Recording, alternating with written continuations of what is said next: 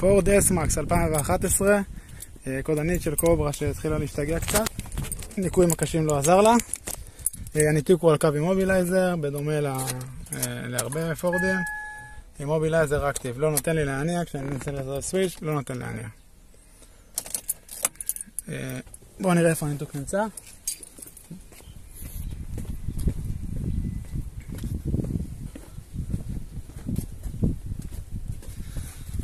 אז פה, מתחת לתא כפפות, האמת שלא חייב לפרק אותו, אבל היה לי הרבה יותר נוח.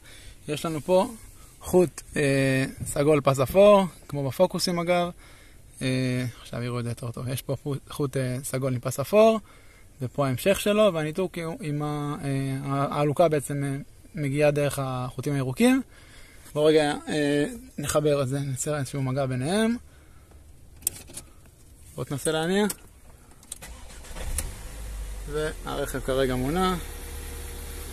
בהצלחה לכולם.